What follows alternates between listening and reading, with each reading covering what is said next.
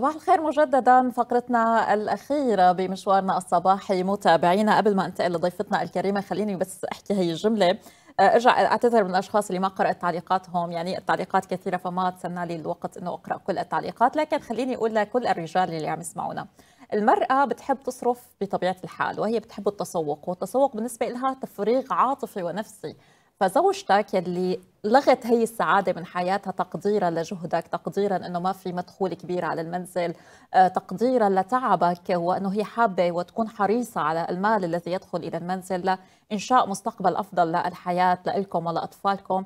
فهي زوجة تقدر فقدروا زوجاتكم بهذا الموضوع لأنه فعلا بتكون إجت على نفسها جدا لحتى هي توفر لك بعض الأموال وتكون معك بالظروف الاقتصادية الصعبة. خلوني رحب بضيفتنا لليوم الصيدلانية منيرة القيس. رح نتحدث عن موضوع الحروق وأيضا آه، موضوع الشمس خلال فصل الصيف. يسعد صباحك أستاذة منيرة. أهلا وسهلا فيكي. صباح النور. صباح, صباح النور. عليك وعلى الجميع. صباح المسك. أهلا وسهلا فيك منيرة. آه، خلينا نبلش منيرة من موضوع الحروق. يعني نحن داخل المنزل كثيرا ما نتعرض لموضوع الحروق أثناء الطبخ أو بتفاصيل أخرى. آه، نحن أو أطفالنا آه، يعني بشكل عام. كيف فيني أنا أتعامل مع الحروق؟ كيف فيني أعرف درجة الحرق بداية؟ أول شيء شيء طبيعي أكثر شيء بتعرض للحروق هن السيدات في المنزل أكيد الطبخ واحيانا بعد مثلا بيجي كان نتيجة الحرق بتكون شو سبب الحرق؟ أكيد هو أهم سبب يعني. أحيانا بيكون زيت أحيانا بيكون البرودة الزايدة أحيانا بيكون كثير أسباب متعددة. ممكن درجة الحرق طبعا بتختلف درجاتها. طبعا بتكون درجة البسيطة اللي هي واضحة على طبقه الجلد السطحيه للجلد. طبعا هي بتكون إحمرار خفيف بيكون في وجع بسيط على منطقة الجلد. أما بيكون درجة الحرق ثانية أو ثالثة أو رابعة بتكون درجة الحرق كتير أكبر مساحة الحرق أكبر. بتكون آه، الحرق بيكون وصلت لطبقات الجلد العميقة. هون لازم بيكون في تدخل طبي. أما أحيانا درجة الحرق البسيطة تكون خارجية آه، فينا بالبيت ممكن نساعد نفسنا يكون دائما أنا دائما بنصح إنه توفروا عنكم بالبيت آه، الإسعافات الأولية للحروق. لأنه أنت أحيانا بيكون حرق بسيط فيك تعالجيه بدقيقتها أو تساعدي حالك إنه تخففي الألم تخففي الوجع. أما في أحيانا درجات حروق لازم تكون طبعا أكيد تدخل طبي تروحوا فيه على الطبيب المختص أو المشفى. آه، إذا بالدرجة الأولى بنعمل يعني إذا كان الحرق من الدرجة الأولى بنقدر نعمل إسعافات أولية بشكل مباشر بالمنزل، طيب إذا كانت من الدرجة الثانية أو الثالثة وهي يعني آه، يكون هنالك ألم لا يحتمل أيضا، شو فينا نعمل لبين ما نوصل إلى المستشفى أو نوصل إلى الطبيب؟ هلأ على حسب منطقة الحرق. إذا كانت الحرق تحت اللباس تبعك بيكون أحيانا لازم تشيلي لازم إذا تشوفي المنطقة. إذا حسنتي تشيلي الأواعي أو اللبس اللي انت عليها كثير منيح. أما إذا لقيتي لأ درجة الحرق إنه الأواعي لزقانه بالجلد انت ما تدخلي ابدا لأنه ما بصير تشيليها ممكن تشيلي معها طبقات الجلد. لهيك لأ ضروري تروحي على المشفى أسرع. أما آه، إذا كانت منطقة الحرق خارجية وسطحية فينا دغري نقلع اللباس اللي علينا نشيل أي معادن الذهب نشيل الخواتم نشيل هي أي شيء موجود على الجلد. آه، فينا نحط منطقة الجلد تحت صنبور ماء يعني تحت الماء المي الجارية. ما نجيب قطع ثلج في أحيانا كثير آه، مفاهيم خاطئة حول علاج صحيح. الحروق. لهيك لا أنت ما في داعي تعملي أي شيء. أما لما بتكون درجة اللي بتشوفي أصلا الجلد بيبقى آه، لونه أسود بلش يطلع فقاعات بلش يكون في احمرار كثير قوي وتحول اللون لأسود. هذا الشيء. طبعا انت ما تتدخلي فيه ابدا. آه، فورا اتصلي بالإسعاف أو إنك تروحي دغري إسعاف على المشفى أفضل بكثير أحيانا بيكون حركات خاطئة انت بتأذي حالك أكثر وبيزيد الوجع عندك. حتى يعني حتى نحن انت عم تتحدثي يمكن عن الدرجات العميقة الثانية أو الثالثة حتى أثناء إنه يكون في حرق من الدرجة الأولى ونحن لا نحسن التصرف أو نعمل بعض المفاهيم الخاطئة اللي تحدثتي عنها آه، نأذي أنفسنا أو حتى نخلي الحرق يترك ندبه مثلا على المنطقة المحروقة. أكثر هذه المفاهيم وهي كثيرة جدا بمجتمعنا يعني وتلاقي اللي بيقول لك حطي بن حطي معجون أسنان حطي مدري شو فكثير في وصفات آه، هي لا. خاطئة. خبرينا عنهم منيرة صح. صح أكيد. يعني أنا كثير هي حتى عندنا بالصيدلية كثير بسمعها. حط معجون أسنان آه النشا أو الطحين حط على الجرح آه ممكن يحطوا مي باردة فورا مشان يخففوا الألم وهذا الشيء كثير خطأ. أحيانا حتى البرودة الزايدة هي بتسبب تلف للأنسجة وطبقه الجلد. لهيك أنت أكبر غلط إنك آه، تتصرف بهيك طرق. ابدا غلط. لما يكون في الحرق سطحي وشايف إنه هو بس على الطبقة الخارجية ما صار في عندك فقاعات ما صار في انتفاخ ما صار لون أسود ما تحول للون أسود والوجع لا يحتمل. أحيانا حتى في درجات الحروق القوية الدرجه الثالثة والرابعة بيكون ما في ألم لأنه بتكون أنت صار في عندك تلف بالعصب. لهيك أحيانا بيكون ما في ألم الألم بيجي بعدين بعد ما يصير في تنظيف للجرح. أما لما أنت بهيك مراحل الدرجة الخفيفة السطحية فيك تحطها أول شيء تحت الحنفية تحت صنبور الماء الجاري. هذا أهم شيء ما نحط لا مي دافية ولا مي باردة كثير تحت المي أقل شيء 10 دقائق بحيث تسحب لك الحرارة اللي إجت نتيجه الحرق. هذا أهم شيء. بعد من هم نشيلها إذا شفنا هي درجة خفيفة ما طلع فقاعات. هي الفقاعات اللي بتطلع على الجلد هي عبارة عن التهاب بلش إنه يطلع فاتت الحرق لدرجات أعمق شوي من الدرجة الخارجية. هون ساعتها ما إحنا ما بنشيل الفقاعات. في ناس كثير في عندها مفهوم خاطئ دغري بتسكب الفقاعة وبتطلع المي تبعها. هذا أنت بتسبب حال بتسبب في ممكن التهاب للجرح أو تسبب التهاب للمنطقة اللي أنت صار في عندك حرق فيها. لهيك الأفضل إنك لا ما تعمل أي شيء. إذا في عنا آه، كريم بيبانتول ممكن يخفف لك إياها. ممكن تحطه عليها حتى يسحب لك البرودة آه، الحرارة يحط لك هيك شوي برودة على على الجرح على مكان الحرق. ممكن نحط آه، آه، كريمات حروق. يعني دائما ننصح فيها خاصة الأهل اللي عندهم أطفال بالبيت. ممكن أحيانا نترات من الشاي أحيانا بيجي هيك نقط خفيفة بيجي على الطفل. كثير بنشوفها هي مثلا. الطفل كان واقف ومن دون بالغلط اجى مثلا كان في شاي سخن أو قهوة أو أي شيء. فورا هي بتكون بسيطة. أنت دغري فورا مي جاريه بعد منها بتحط لها آه، جل الصبار ممكن نحط إذا في عندنا بالبيت كريمات الحروق دائما لازم تكون متوفرة بالبيت بأي حالة انت بحيث فورا تدهن منه بيسحب لك آه، بيكون فيه مخدر هو ليدوكاين بيسحب لك الألم بخفف لك إياه وبنفس الوقت أنت بتحمي بطبقة خارجية بتعزله بحيث ما يتجرسم أو يصير في عندك التهاب عليه. نعم. آه، هل ممكن مثلا نلجأ لتعقيم مكان الحرق قبل ما نحط المرهم ولا هذا الشيء خطأ؟ هلا ممكن نعقمه بكحول خطأ ما لازم نعقمه بالكحول. وعلى حسب درجة الحرق هلا إذا خارجية وهيك حمراء بس وطلعت لا آه، في عنا بوفيدون اليود. فينا نعقم نحط له شوي وبعد منها نحط آه، كريم للحروق مخصص للحروق يكون دائما عندك بالبيت ودائما أحيانا في أهالي بينسوا إنه في عندهم كريمات بالبيت وبصير بيقطع عليهم ميعاد. يعني بتلاقي مثلا خلص ميعاد استخدمه هذا خطأ. دائما لازم تستفقد الصيدلية عندك بالبيت وتجدد الأدوية اللي عندك. بحيث تحطها بطريقه تستخدمها بالوقت المناسب. تدهن منه هذا الكريم بشكل كافي. هلأ في أحيانا كمان عالم تلجأ إنه تغطيه للجرح. تمام. مو غلط إنك تغطيه ولكن بشاش مبلل بنغطيه مشان يعمل طبقة عازلة وبتكون حاطط كمية كافية من الكريم بحيث ما الشاش يلزق بالجلد. إذا لزق بتخاف أنت بعد مثلا ما ينشف ترجع تشيله تشيل معه الجلد اللي آه، تلف أو اللي صار فيه تقشير على منطقه الحرق. لهيك دائما أحرص إنك أنت آه، تبلل الشاش منيح آه، بمي أحيانا في normal saline بيكون عندنا في البيت أحيانا المي معقمة. فورا بنبلل الشاش بندهن الكريم بكمية وفيرة وبنغطيه بدون ما نشد كثير عليه بيكون بس رخو بحيث بس طبقة حماية.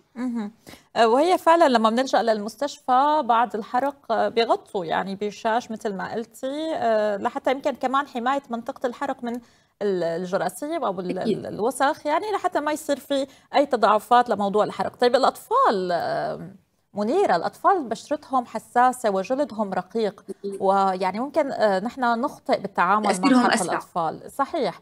كيف فينا نحن نتعامل مع حروق الأطفال؟ حتى يمكن بتكون بالدرجة الأولى وشيء بسيط مثل ما قلتي لكن بسيط بس من كثر ما بيبكوا وبيتفاجئوا بالحرق يمكن أحيانا الأهالي بيبكوا كثير. إيه. لا أحيانا بيجوا لعنا على الصيدليه أحيانا الأم عم تبكي أكثر من الطفل. الطفل خلص احترق وبكي شوي وسكت يعني بس إنه بقع والعالم بتخافي إنه يتعلم خاصة إذا كانت بنت إنه تعلم وخاصة إذا كان بالوجه يعني إنه تعلم الحرق. هي مشكله يعمل لك طبقة سوداء أو يضل علامة الحرق. هي مشكله طبعا أكيد عند الأطفال لأنه بس ما نخاف. ليش؟ لأنه الطفل آه، بيكون بمرحلة النمو آه، بيكون بيتجدد الخلايا. طبعا نحن بعد هيك مثلا نحن عم نحكي على الحروق البسيطة درجة أولى. نعم. ما وصلنا الدرجات الثالثة والرابعة. هي طبعا تدخل طبي بنطفوا لك الجرح منيح. منيح بيحطوا لك معقمات بيحطوا لك شاش طبي. آه، طبعا هاي الخطوات طبعا مع طبيبك. أما إحنا مثلا بالبيت درجات بسيطة عند الأطفال نفس الخطوات بنحطهم تحت ماء بنحط لهم شاش آه، مبلل بنحط كريم لل... لدرجة الحرق. طبعا الحروق بدها وقت مثلا من من خمس ست أيام إلى 10 أيام حتى تطيب هي الدرجات الأولى. بعد ما نحن نلاقي إنه طابت طبي بس طبقة هيك مثلا علام لمنطقة الحرق أفضل شيء إنه نجيب مرممات للحروق خاصه عند الأطفال دغري نبلش فيها. ما نستنى وقت من الزمن لما تصير غامقة أو خاصه إذا كان في مناطق مكشوفة الوجه الإيدين القدمين هدول لازم دغري نحط لهم مرممات. أحسن بكثير حتى دغري الجلد يتعالج ونسرع بعملية الشفاء. آه، طبعا مثل ما قلتي منيرة يعني الحروق من الدرجة الثانية والثالثة والرابعة لا سمح الله مباشرة إلى المستشفى مباشرة تدخل طبي. آه وهون الموضوع خطير صراحة يعني ومؤلم وله تداعيات ياخذ وقت أكثر بالشفاء طبعا أكيد. أكيد. آه وهذا الموضوع إذا ما كان واصل للأعصاب وتلف بالخلايا أو ما إلى شابه يعني فالموضوع فيه له آه يعني أمور آه صحية أخرى أيضا ممكن ترافق موضوع الحرق. آه، طيب آه، بما أنك عم تتحدثي عن الندوب منيرة بعض الأشخاص بيكون عندهم حرق قديم قد يكون حرق قوي مثلا وتارك علام كبير جدا على البشرة. ما تم ترميم الحرق؟ وسابقا يمكن ما كان في اهتمام بموضوع آه، تجميل صحيح. المنطقة المحترقة يمكن. هلأ فينا نعمل أي تصرف مثلا جديد على علمك يعني كليزر أو ما شابه يعني لإزالة المنطقة؟ أكيد. أكيد. هلأ كل ما كان التدخل بترميم الجرح أسرع كل ما كان أحسن. يعني نعم. كل ما بتتأخري انت شهور أو سنين لحتى ترجعي الجلد مثل ما كان كتير صعب. لأنه انت بتكون خلص تكونت الخلايا الجلد أخذ شكله وأخذ اللون تبعه. أما انت لما بت مثلا بعد الحروق أو أحيانا بعد الخيوط الجراحية كمان آه فورا تدخل مثلا بعد العمليات الجراحية بتلاقي في دائما في ندبات. هالندبات إذا تأخرتي بعلاجها آه بتأخر علاجها. لهيك لا دائما ننصح من قبل كان ما في هذا الوعي. كنا من زمان إنه الند بيضل. هلأ صار في آه، أصلا آه، تطور الطب صار في عندك خيوط تجميلية. هي لحالها بتكون آه، سريعة الشفاء وترميمها بيكون أسهل بكثير ولكن من قبل في عنا هيك شيء. طبعا الشفاء 100% أكيد لأ. صار بدها تدخل مثل أحيانا الليزر بيعملوا لها هلأ صاروا. وعلى حسب مكان المنطقة. أحيانا في مناطق ما في مشكلة إذا ضل الندب تبعها واحيانا إنه لأ في مناطق بتكون بالوجه باليدين مزعجة أحيانا للاشخاص بالفعل يعني آه بدها يكون تدخل ليزر أو طبيب يرجع مرة ثانية. أحيانا بيعملوا لها آه، بيحطوا طبقات جلد جديدة من مناطق ثانية بيحاولوا يرمموا المنطقة. ولكن م. كل ما كان تدخل ودهن الكريمات المرممة نختار الماركات الجيدة المفعولة كثير منيح. آه، طبعا أكيد بيكون آه، نتيجة ترميم الجرح بيكون أحسن بكثير أما كل ما تأخرنا للأسف بيتأخر يعني الترميم. م. وطبعا هذا الموضوع مراجعة طبيب مختص ممكن يعني يعرفنا على الطرق الحديثة لترميم مكان أكيد. الحروق آه منيرة بما أنه نحن مقبلين على فصل الصيف وبلشنا بفصل الصيف آه موضوع أشعة الشمس وخاصة م- على البحر أو تعرضنا لأشعة الشمس لفترات طويلة الأشخاص اللي عملهم أساسا يعني تحت أشعة الشمس بتعرضوا أيضا لحروق من أشعة الشمس. نحن فينا نعتبرها حروق آه هذا الموضوع منيرة ولا لا؟ طبعا أكيد. مم. طبعا حروق الشمس كثير مزعجة لأنه حروق الشمس بتتحول مع الأيام لبقع سوداء. إذا ما تعالجت أو ما أنت استخدمت الواقيات الشمس المفيدة لك. أكيد كمان حروق الشمس كمان لها درجات. أها طيب آه، خبرينا خبرينا منيرة عن موضوع حروق الشمس. آه، يعني كيف ممكن هي الدرجة البسيطة وشو الدرجة الأقوى درجة بحروق الشمس؟ هلأ طبعا آه، الحروق الشمس كمان آه، بتكون بسيطة نتيجة انت مثلا آه، شغلك طبيعة الشغل طبعا الشخص إذا كان في منطقة مغلقة أو دائما طول وقته هو خارج معرض لأشعة الشمس وخاصة هلأ فترة الصيف بلشنا. لهيك دائما ننصح أول شيء الواقي الشمسي مرطبات للجلد شرب الماء بكميات كافية بحيث إنه دائما نرطب الجسم عنا وخاصة الأشخاص اللي شغلهم خارج معرضين للشمس بشكل كثير كبير. لأنه أنت إذا ما عالجت المنطقة شوي شوي ببلش بيطلع النمش ببلش بيطلع تصبغات اشعاعات الشمس. آه للأسف أحيانا ما تعالجت كثير وكثير صرنا نسمعها هلأ في سرطانات آه الجلدية بلشت تطلع. صرنا نسمع فيها أكثر من قبل. آه نتيجة للتعرض للشمس بشكل كثير كبير وفترات طويلة. بعد منها بيكتشفوا للأسف هيك مشاكل. لهيك دائما الواقي الشمسي ما له مشروط بصيف أو شتاء ولكن هو بالصيف بيزداد استخدامه أكثر بدرجات أعلى.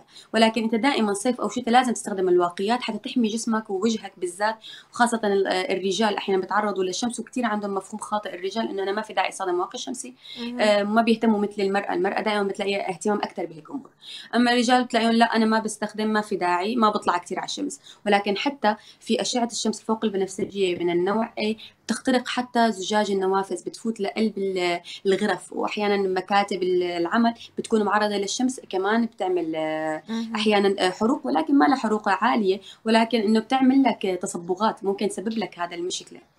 نعم وهذا الموضوع يعني أيضا مثل ما قلتي أشعة الشمس لوحدها ممكن تعمل تصبغات سمراء بالبشرة آه، يتحول لكلف ويصير الموضوع يعني مزعج للرجال أو للنساء. فهو الموضوع مزعج إنه يكون في هنالك بقع مغايرة للون البشرة على الوجه. أه، طيب كيف أختار الواقي الشمسي المناسب لبشرتي؟ أه، كيف شو هي المقومات اللي لازم أنا أفكر فيها أو الشروط لحتى قبل ما أختار الواقي؟ هلا حاليا آه، الواقي الشمسي بدك تختاريه على حسب أنت طبيعة بشرتك. آه، طبعا البشرة الجافة المختلطة والحساسة وبشرة الأطفال طبعا في عنا. حتى الأطفال هلا حاليا لازم نهتم بحمايتهم من أشعة الشمس بعد ما فوق الستة أشهر. طبعا فيك تبلشي تستخدمي له وقت بيتعرض الطفل. لا أشعة الشمس لازم نستخدم له وخاصة على البحر وبهالفترات هي بالذات لازم يكون الواقي الشمسي أساسيات الشنطه عنا للبحر. أما بالنسبة لإختيار الواقي الشمسي نفسي فانت البشرة الجافه دائما بنروح للنوع يكون مكتوب عليه كريم بيكون لهم فيه داخله مرطب مشان يرطب لك البشرة. البشرة المختلطة الدهنيه دائما نروح لكلمه فلويد مكتوب على واقي الشمسي آه بيكون لوشن بيكون قوامه خفيف امتصاصه أسرع ما بيسبب لهم حموم للبشرة المختلطة. البشرة الحساسة دائما نختار لها الشيء الخفيف اللي ما بيعمل تصبغات آه ما بيعملها حساسية زيادة. لهيك دائما نستخدم الواقي اللي بيناسب بشرتها. طبعا هذا الشيء فيك تستعيني فيه بطبيب جلدية في صيدلاني بالصيدلية ممكن يساعدك يحدد لك لون بشرتك وأنت تستخدمي على اساسها الواقي الشمسي. ولما نختاره هلا حاليا أغلب المنتجات آه، الواقي الشمسي بيبقى مكتوب عليها يو في اي ويو في بي اللي هن اشعه الشمس آه، الفوق البنفسجية القريبة والبعيدة. آه، طبعا أكيد كلهم لازم نختارهم هيك بحيث نحمي وجهنا من نوعين الأشعة. بكون مكتوب عليها broad spectrum ال broad spectrum يعني واسعة الطيف واسعة بالحماية water resistant يعني هي مقاومة للماء. بحيث إذا كان في أشخاص عندهم تعرق زيادة الأشخاص اللي عندهم جفاف الأشخاص اللي آه، راحوا على المسبح أو البحر دائما لازم يستخدموا مقاوم للماء بحيث إنه يضل فترة أطول على البشرة. ودائما ما ننسى نجدد الواقي الشمسي وخاصة عند البشرة الحساسة عند الناس اللي بتعرق كثير كل ساعتين ثلاثة نجدد الواقي الشمسي. طبعا التجديد آه، كثير عالم بتلاقيه صعب شوي. آه، الأشخاص بس اللي متعرضين أكثر للخارج اللي على الناس اللي على البحر اللي قاعدين عم ياخذوا آه، السباحة يعني لازم يجددوا فيها. أما اللي قاعدين داخل المكاتب ممكن مرة واحدة تكفيك إنك ما تجدده مو مشكلة. أما الناشط اللي بالخارج طبعا أكيد لازم تجدد كل ساعتين ثلاثة. طيب بالنسبة للصبايا منيرة بيستخدموا مثلا كريم أساس لكن فيه نسبة واقي شمسي أو واقي شمسي مع كريم أساس. فبتكون النسبة مثلا 20% أو 30% للواقي الشمسي. هل هي النسبة كافية أنه نحن ناخذ نتيجة ولا لا؟ أنا لازم أستخدم الواقي الشمسي يعني ككريم واقي شمسي مش مختلط مع أي شيء ثاني وفي حال أنا رجعت حطيت مكياج على الواقي الشمسي هل برجع باخذ نفس النتيجة ولا لا؟ هلا دائما آه، الواقي الشمسي هو في عندك فيزيائي وكيميائي. هلا بلشت العالم تفرق بيناتهم. هلا الكيميائي هو اللي بتمتصه البشرة وبده وقت لحتى آه، تستفادي منه. يعني لما بتكون انت مكتوب على آه، اقري على مكوناته لما بتكون منتجك هو منتج كيميائي طبعا لازم تحطيه قبل ب 20 دقيقة حتى ياخذ مفعوله بعدين ما نحط المكياج اللي إحنا بدنا إياه. أما لما بيكون واقي الشمس تبعك فيزيائي يعني هو الفيزيائي شو معناته؟ إنه بيعمل طبقة عازلة على البشرة تأثيره مباشرة. آه هذا اللي ممكن يترك لك طبقة بيضاء على الجلد أحيانا في كثير عالم تتضايق إنه بعد ما دهنته بلش يطلع لي طبقه بيضاء بلش يقشر هذا هو الفيزيائي. لهيك لما بتحطي تأثيره مباشرة فيك تحطي دغري مكياجك. ودائما بننصح بهيك حالة وخاصة الأشخاص اللي بيعرقوا كثير وبشرتهم دهنية بتلاقي دائما بيطلع في تقشير على البشرة وبيستخدموا واقي شمسي فيزيائي. بننصحهم إنه ياخذوه هون بلون بحيث إنك لما تحطه ما يعطيك الطبقة البيضاء بالعكس يعطيك طبقة tinted اللي هي بتجي للون بشرتك. ممكن هي دائما هلأ حاليا أغلب الشركات موحدة الالوان هالسنه بتشوف الشركات اللي الممتازة تلاقيها موحدته على ال light بحيث إنه يعطيك ما يعطيك لون غامق ولا فاتح بيعطيك لون بشرتك. أنت شو نوع البشرة تبعك بيعطيك لونها بحيث إنه ما تنزعج بطبقة البيضة اللي بتطلع أحيانا بعد دهن الواقي الشمسي تماما. طيب خلينا كمان ننتقل لفكرة منيرة الأشخاص اللي بيتعرضوا لأشعة الشمس على الساحل من أجل اكتساب اللون البرونز الأسمر. قد إيه خطير هذا الموضوع؟ هل فعلا إنه ممكن أنا أذي بشرتي آه، بهي الطريقة؟ وممكن بعض الأشخاص ما بتزبط معهم ففعلا بيتعرضوا لحروق وحتى بتتقشر البشرة بطريقة مرعبة جدا يعني وقاسية جدا. خبرينا عن هالنقطة. كثير بنشوفها هي وخاصة هلأ بهي الأشهر وخاصة جاي فترة العيد م. على الصيفية كثير عن جد بنشوفها وبالفعل التأشير بيكون فظيع. يعني أنا شايفتها السنة الماضية آه، عن جد بتحسي إنه شيء عم يشلع شلع هيك فعلا السواد يعني بيطلع حرق. حمراء يعني يعني أنت لما بتشوفي هي البشرة فعلا كأنه هو حرق يعني كأنه لا سمح الله متعرض لحرق. يعني عن جد بتأذي البشرة. طبعا م. أكيد. الناس اللي تعمل برونز مو مشكلة. اختاري المنتجات اللي بيكون عليها. آه، هلأ في عالم بتحب تعمل عامله آه، آه، غامق كليا بيبقى ما فيه ولا درجة آه، حماية. أما هلأ حاليا حتى فيك أنت تختاري طبقة البرونز اللي بدك إياها مع حماية 20 أو 30 أو 15% أنا برأيي أحسن بكثير بحيث إنك أنت تعملي اللون اللي بدك إياه يكون برونز خفيف وبنفس الوقت تعملي حماية لبشرتك. لأنه الناس اللي بتعمل البرونز على البحر كثير ضروري بعد ما يعملوا ياخذوا هذا اللون يدهنوا المرطبات. أهمها أهمها هو ال aloe vera. كثير منيح. لأنه هو عبارة عن جل بهيك درجات الحروق تبع الشمس ما لازم ندهن كريمات تكون قوامها ثقيل لأنه هيك بتأذي البشره وأنت تدهنها. دائما نروح لللوشن نروح للجل يكون قوامه هلامي خفيف فورا تدهن وتمتصه البشرة.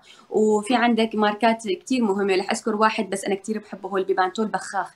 بيبقى كثير منيح لهيك مناطق. فورا على بعد بتبخ على منطقة الحرق بحيث إنك تعمل ترطيب للبشرة. ما نحاول نقشر البشرة ونحن نقلع الجلد ابدا خطأ. أنت هيك تعمل تخلي الجلد يعلم. خليه هو من حاله يقشر آه أنت بس ساعد بشرتك بشرب الماء كثير ندهن المرطبات الخفيفة اللي قوامها الجل مثل الألوفيرا البيبانتول بيساعد على تخفيفها وبيرطب البشرة. وبس ما بدها يعني إنك أنت تقشر لحالك في عالم بتصير بلش تقشر وجهها تبلش تقشر الجلد المتميت على الاكتاف وهيك. كثير غلط. آه هيك أنت عم تأذي البشرة أكثر آه، هي بشكل عام التعرض لأشعة الشمس بهي الطريقة بالذات آه، منيرة في إلها آثار سلبية على البشرة غير موضوع الحروق؟ يعني أنا ممكن عم عم أذي بشرتي ولا لا؟ هو شيء طبيعي وعادي يعني ما ما, ما لها هي الآثار السلبية لا أكيد. أول شيء عم تزيد آه، ظهور تصبغات على وجهك. ثاني شيء النمش. ثالث شيء علامات التجاعيد والتقدم. لأنه أنت أشعة الشمس لما بتفوت لوجهك وخاصة الألترا فايولت بتفوت لآخر الطبقات الجلدية بحيث بتعمل عندك تلف للكولاجين للإلاستين اللي هن الأساسيات للبشرة. بقى أنت هيك بتسرع عندك ظهور علامات التجاعيد عندك على وجهك وعلى جسمك حتى كمان. آه، ممكن تتطور الأمور وانت مرة على مرة بدون الانتباه وبدون العناية بحيث إنك أنت عم تعمل البرونز بس آه، بعيد الشر يتطور لأمراض جلدية. ممكن يصير في عندك جفاف وإكزيما ممكن يصير في عندك سرطانات بآخر درجاتها. يعني أنت مالك مضطر لهالدرجة إنه تعمل آه، لون بهالطريقة. دائما نستخدم لون مع واقي شمسي لو درجة خفيفة بحيث يخفف من الآثار السلبية تبعها. طيب خليني أختم معك كمان سريعا هيك معلومة سريعة منيرة. موضوع الأشخاص اللي بيعانوا من البهاق يمكن عندهم آه، فكرة التأثر بأشعة الشمس أكثر من الأشخاص العاديين. آه، شو بتنصحيهم هن مشان آه، لأنه البهاق هو عبارة عن طبقات بيضاء بيبقى بالجلد. ممكن إنه يعملوا لون مشان يعمل لون توحيد لون للبشرة. بس هو ما له علاج. هو يمكن يخفف لك آه، اللون يصير موحد ممكن ولكن بيرجع بيفرق لأنه البهاق مشكلته ما له علاج ثابت. نحن دائما لازم نستشير طبيب إنه دائما ناخذ الأدوية للبهاق وخاصة يعني يستخدموا واقي نفس نفس الشخص العادي يستخدموا واقي ولا عندهم أشياء خاصة مثلا ممكن يستخدموها كواقي شمسي؟ لا بيستخدموا تماما بيستخدموا مثل الأشخاص العادية الواقي الشمسي. ولكن طبعا في لهم كريمات وأغلبية كريمات البهاق هي عبارة عن كورتيزون كورتيزون مشان تخفف لك منها. لهيك كثير غلط لما ندهن نحن مثلا دواك البهاق. دهنته طلعت تعرضت دغري على الشمس. آه، أنا برأيي لا كثير غلط. لازم تحط واقي شمسي أكيد. حتى فوق آه، طبقات منطقة البهاق اللي عندك. هلا إذا كانت داخلية تحت الجلد ما في أي مشكلة. بيكون في شيء مغطيها. أما لما تكون خارجية وجه وإيدين لا لازم ندهن واقي شمسي أكيد. شكرا كثير لك على المعلومات. الصيدلانية منيرة القيس. شكرا كثير لأنضمامك. شكرا كثير لكم أنتم كمان. يسعد صباحك مجددا. يعني معلومات مهمة فعلا قبل الصيف. نحن ننتبه كثير لموضوع أشعة الشمس. الأشخاص الرجال يلي عم يشتغلوا تحت أشعة الشمس اللي هن طبيعة عملهم إنه بيتعرضوا لأشعة الشمس استخدم واقي شمسي واحمي بشرتك. آه ومثل ما قالت منيرة الموضوع كثير مهم مش إنه فقط النساء بيستخدموا الواقي الشمسي لا حتى الرجال اللي بيتعرضوا بدرجة كبيرة لاشعه الشمس. يستخدموا أيضا الواقي الشمسي ليحموا آه بشرتهم من الأشعة التي تعتبر أشعة مضرة للبشرة تحديدا خلال فصل الصيف وبساعات الظهيرة تحديدا أكثر. آه، فانتبهوا يعني على هي النقطة. شكرا لكل حدا كان معنا للمتابعة والاستماع بحلقة اليوم.